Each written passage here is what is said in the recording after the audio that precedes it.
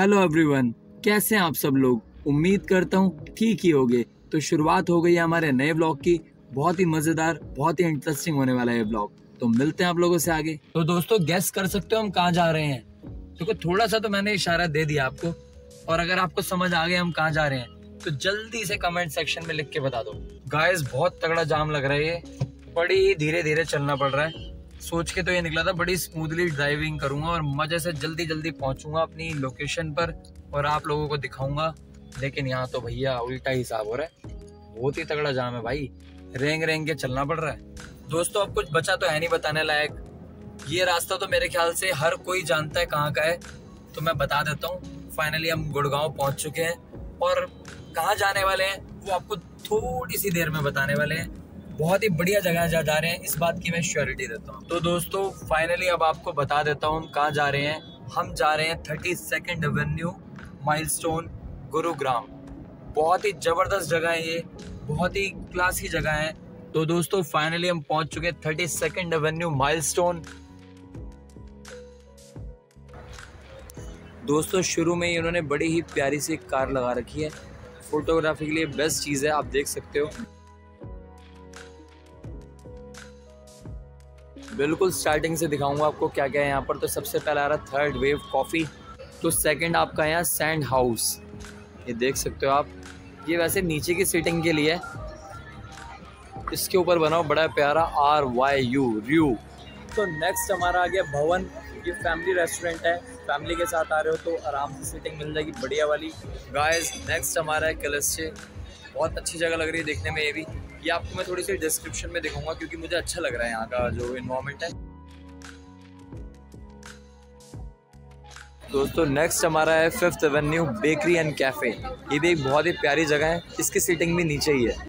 दोस्तों नेक्स्ट हमारा यहाँ जो है, वो है अनलॉक और स्टारबक्स एक साथ ही बने हुए हैं ये। नेक्स्ट हमारा है द पॉट बेली ये बना हुआ है फ़र्स्ट फ्लोर पर।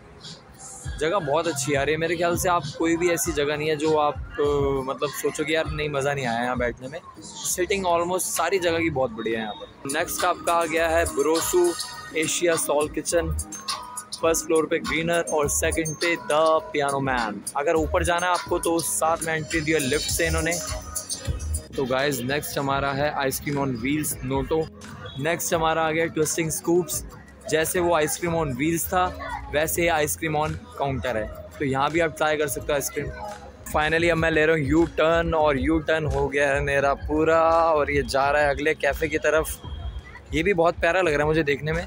छोटी सी एंट्री है इसकी। ये इसका नाम है melt house breakfast lunch dinner तीनों अवेलेबल है यहाँ। सुबह सुबह भी आ रहे हो तो मज़े ले सकते हो।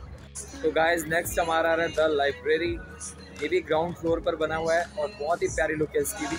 तो गाइज़ नेक्स्ट हमारा है कैट और सलीम जावेद ये फ़र्स्ट फ्लोर पर बने हुए हैं। दोस्तों नेक्स्ट हमारा कर्नाटक कैफ़े देख सकते हो आप, बहुत ही प्यारी एंट्री है और ये इंडोर बना हुआ है सारा। आउटडोर इसकी कोई सीटिंग नहीं है। तो दोस्तों नेक्स्ट हमारा है कोमो पिजेरियन कैफ़े ये भी बहुत प्यारी जगह लग रही है देखने में।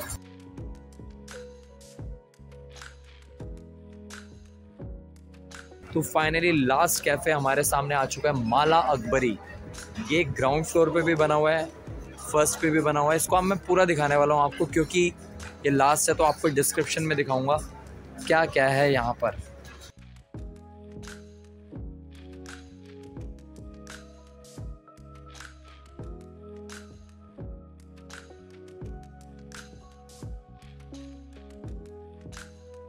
ये फ़र्स्ट फ्लोर से व्यू है माला अकबरी का। बहुत ही प्यारा व्यू है।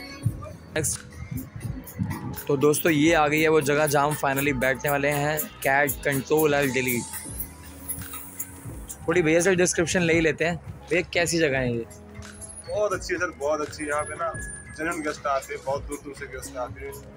बैठते हैं अच्छी अच्छी फिलिंग करके जाते हैं, बहुत अच्छी सीलिंग होती है आपके रेस्टोरेंट की। और अंदर टेबलों में सॉफ्टवेयर लगे हुए हैं सर सॉफ्टवेयर में गेम खेल सकते हैं लोग। वहीं से ऑर्डर करते हैं प्लेस करते हैं।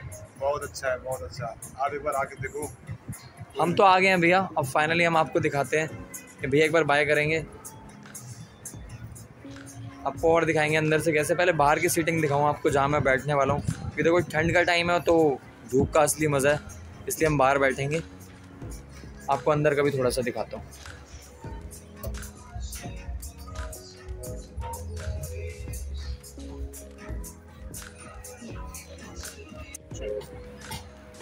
दोस्तों फाइनली हमारा लंच आ चुका है।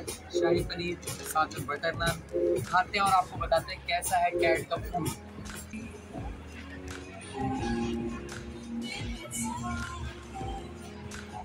बहुत मज़ेदार है यार बहुत मज़ेदार। सच्ची मज़ा आ गया। तो दोस्तों फाइनली अब घर जाने का टाइम हो चुका है और हम निकल रहे हैं घर के लिए। आप देख सकते हो वापसी जा रहे हैं। बहुत मज़ा आया बहुत एंटरटेनमेंट मिला यहाँ पर। आप भी जल्दी विज़िट कर लो इसको। फाइनली अब घर जाने का टाइम हो चुका है। मिलते हैं आपसे नेक्स्ट वीडियो में। Till then good bye love you all